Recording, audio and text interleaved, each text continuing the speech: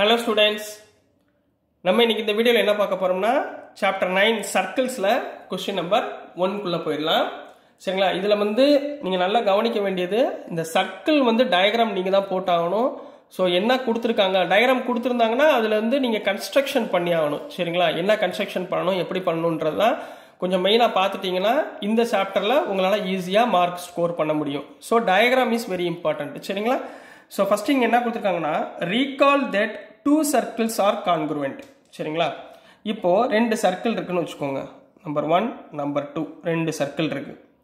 இதுக்கு centre point என்ன சொல்லுவோம்? ஓன்னு சொல்லுவோமா? சென்டர் பாயிண்ட் ஓ இது வந்து ஓ டேஷ்னு வச்சுக்கோங்க. சரிங்களா? டிஃப்ரென்ஸ் காமிக்கிறதுக்காக. ரெண்டு சர்க்கிள் டிஃப்ரென்ஸ் காமிக்கிறதுக்கு ஒன்று ஓ டேஷ்னு வச்சுக்கோங்க. If they have the same radii சரிங்களா? இப்போது இதுலேருந்து ரெண்டு ரேடியஸ் ஃபார்ம் பண்ணுறோம் ஒன் டூ ரெண்டு ரேடியஸ் அதே மாதிரி இங்கே ரெண்டு ரேடியஸ் ஃபார்ம் பண்ணுறோம் சரிங்களா? இந்த ரேடியஸ்க்கு பேர் நம்ம என்ன கொடுத்துடலாம்? இப்போ இதை ஏ இது பின்னு வச்சுக்கோங்க. இதை வந்து சிடின்னு வச்சுக்கோங்க. சரிங்களா? ரெண்டு ரேடி நம்மளா பேர் கொடுக்கறது. Prove that equal chords of congruent circles subtend equal angles at their centres இதை முதல்ல நீங்கள் என்ன பண்ணுன்னா ஒரு ட்ரையாங்கிள் மாதிரி ஃபார்ம் பண்ணிக்கோங்க. ஸோ இந்த லைன் நான் ஜாயின் பண்ணிக்கிறேன். ஏபியை சிடியும் ஜாயின் பண்ணிக்கிறேன். ஏன்னா இது ரெண்டோட ஆங்கிளும் ரெண்டோட லென்த்தும் ஈக்குவல்னு சொல்லிட்டாங்க. ஈக்குவல் ரேடியி சேம் ரேடியின்னு கொடுத்துட்டாங்க. அப்போ இந்த லென்த்தும் இந்த லென்த்தும் எப்படி இருக்கும்? ஈக்குவலாக இருக்கும். ஸோ நான் என்ன பண்ணிக்கிறேன்? ஜாயின் பண்ணிக்கிறேன். இப்போது இதோட ஆங்கிள் இருக்குது பார்த்தீங்களா இந்த ஓன்ற ஆங்கிள் இந்த ஓ டேஷ்ன்ற ஆங்கிள் இது ரெண்டும் ஈக்குவலாக இருக்கும் அப்படின்றத ப்ரூஃப் பண்ணுங்க அப்படின்றாங்க. கொஸ்டின் புரிஞ்சுங்களா இந்த டயக்ராம் நீங்கள் தான் வரையணும்.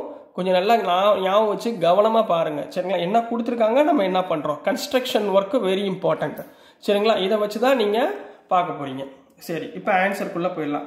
ஆல்ரெடி உங்களுக்கு ட்ரையாங்கிள்ஸ் குவாட்ரிலேட்ரல்ஸ் லைன்ஸ் அண்ட் ஆங்கிள்ஸில் உங்களுக்கு வந்து கான்க்ரூவெண்ட்னா என்ன அப்படின்றத உங்களுக்கு ஃபுல்லாக சொல்லியிருக்கேன். சரிங்களா? அதை ஒரு வாட்டி ரீகால் பண்ணிட்டு வந்துக்கோங்க. நம்ம ஈஸியாக இந்த செம்ம அழகாக ப்ரூஃப் பண்ணிடலாம். ஒன்றுமே இல்லை. ஒரு டூ லைன்ஸ் தான் ஆன்சர் வந்துடும் இப்போ பாருங்களேன். இப்போ நம்ம என்ன பண்ணியிருக்கோம்? சேம் ரேடி அப்போ ஏபிசிடின்றது சேம் ரேடியா அப்போ கிவ்வன் எப்படி எடுத்துக்கலாம்? முதல் எடுத்தவொடனே எப்பயுமே கிவன் எழுதணும் நெக்ஸ்ட் டு ப்ரூவ் மூணாவது ப்ரூஃப் இதை ஞாபகத்தில் வச்சுக்கோங்க. முதல் கிவன் கிவ்வன் என்ன கொடுத்துருக்காங்க?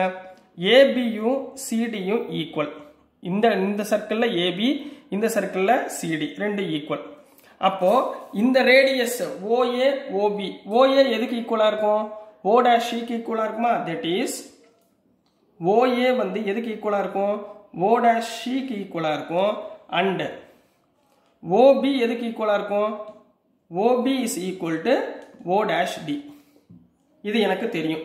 இப்போ நான் என்ன ப்ரூவ் பண்ண சொல்லியிருக்காங்க? To prove prove that equal chords இந்த chords equal chords of congruent circles ரெண்டு சர்க்கிள்ஸ் சப்ஸ்டன்ட் ஈக்குவல் ஆங்கிள்ஸ் இந்த ஆங்கிள் வந்து ஈக்குவல்னு சொல்லி சொல்ல போகிறோம் அதாவது angle AOB equal to angle CO dash D இதை சொல்லிட்டோம்னா ஆன்சர் ஓவர் இப்போ பாருங்களேன் உங்களுக்கு வந்து கான்குரண்ட்னா என்ன அப்படின்னு தெரிஞ்சிச்சுன்னா நீங்களே ஆன்சரை சூப்பராக பண்ணிடுவீங்க. சரிங்களா?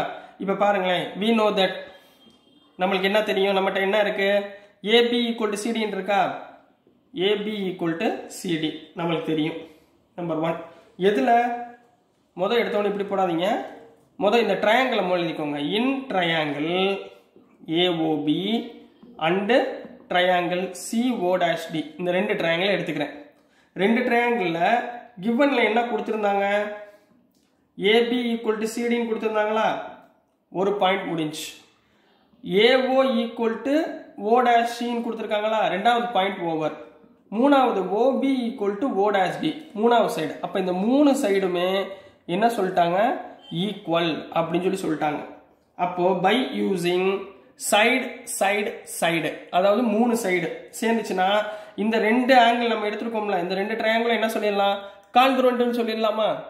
அதானே அர்த்தம். கான்குரண்ட்னா மூணு சைடு அல்லது சைடு ஆங்கிள் சைடு அல்லது ஆங்கிள் சைடு ஆங்கிள் அல்லது ஆர்ஹெச்எஸ் இதெல்லாம் யூஸ் பண்ணோம்னா நம்ம கான்குரண்ட்னு சொல்லிடலாம். சரிங்களா? So triangle ஏஓபியும் is congruent to triangle CO dash D இப்போ இது ரெண்டும் கான்குரண்ட்னு சொல்லியாச்சு.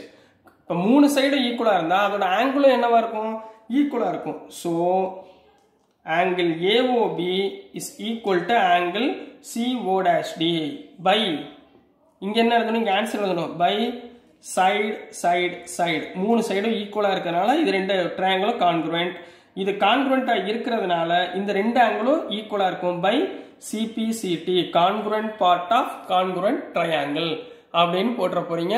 உங்களுக்கு ஆன்சர் ஓவர் சரிங்களா ஸ்டூடெண்ட்ஸ் ரொம்ப ஈஸிங்களா சரிங்களா? ஸோ இதே மாதிரி ரெண்டாவது சம்மும் பார்த்துடலாமா? இதுலயே செகண்ட் சம்மும் பார்த்துடலாம் நம்ம. நீங்க இது பார்க்கறதுக்கு முன்னாடி மேக்ஸிமம் அந்த ட்ரையாங்கிள்ஸ் ஓட இன்ட்ரோடக்ஷன் இந்த கான்க்ரூவெண்ட்னா என்ன அதை மட்டும் ஒரு வாட்டி கிளான்ஸ் மட்டும் பார்த்துட்டு வந்துட்டீங்கன்னா உங்களுக்கு ரொம்ப ஈஸியாக போயிடும். சரிங்களா? இப்போது கொஸ்டின் நம்பர் டூ போயிடலாம் இதுலேயே. கொஸ்டின் நம்பர் டூவில் என்ன கொடுத்துருந்தாங்கன்னா prove that prove that if chords of congruent of congruent circles subtend subtend equal angles at their centers.